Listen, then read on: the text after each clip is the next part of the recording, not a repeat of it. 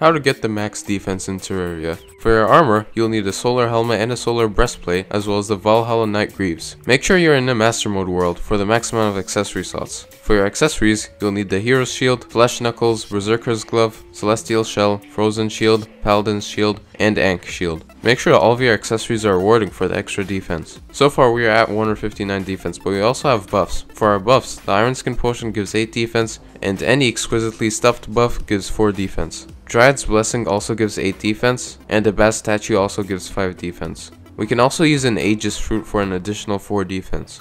Lastly, we can use the parry feature for the Brand of Inferno to gain an extra 20 defense. This comes to about 208 defense. That's insane.